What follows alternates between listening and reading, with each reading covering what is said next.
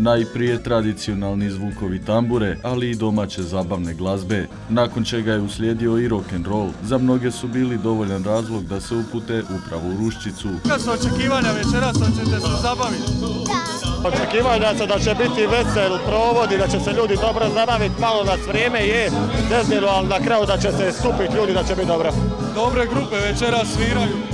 U dobre grupe, naravno, Zdenac i opća opasnost, tako da će zabava biti dobra. Očekivanja su uvijek dobra, međutim, vrijeme nas malo izgleda zezna.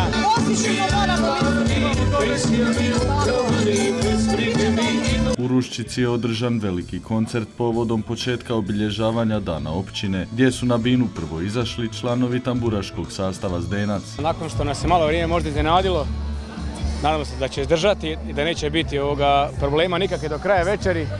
Malo smo zagrijali publiku, skupilo se ljudi, nadamo se da će biti još više ljudi i nakon opće opasnosti opet nastupamo mi, Zdenac, pa ćemo vidjeti dok ćemo. Nastupi su svaki vikend, puno se radi, puno se svira i e, najviše, pati naši bližnji, ali šta ćemo, to je tako. Takav je posao, ne možemo ništa. Zagrijanu publiku prepustili su općoj opasnosti, koja je ovdje svirala po prvi put.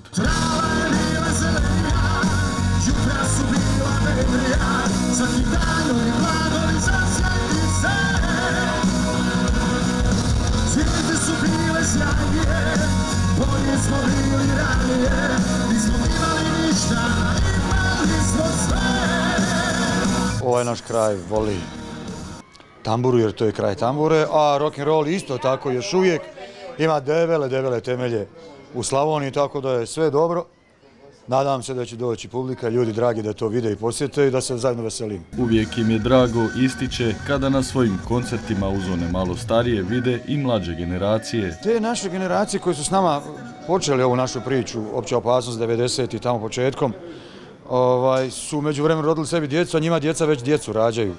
Tako da to sad već par generacija koja je s nama na koncertima, a nije se to moglo izbjeći, znači svi ti ljudi koji su s nama stasali kako i mi, su to prenosili onima kojima dolaze kao novi u njihovom svijetu.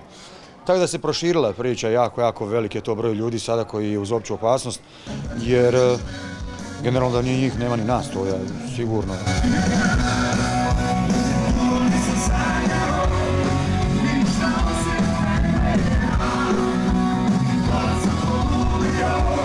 Studiju smo uz, uz ovu pjesmu koja je izašla prije dvadesetak dana, kako već ima najbolja kad je najteže, mi tih Orlić u suradnji, himna vatrenih. Paralelno završavamo i novi singl opće opasnosti koji bi trebao, nadam se, vrlo brzo ovoga, i van.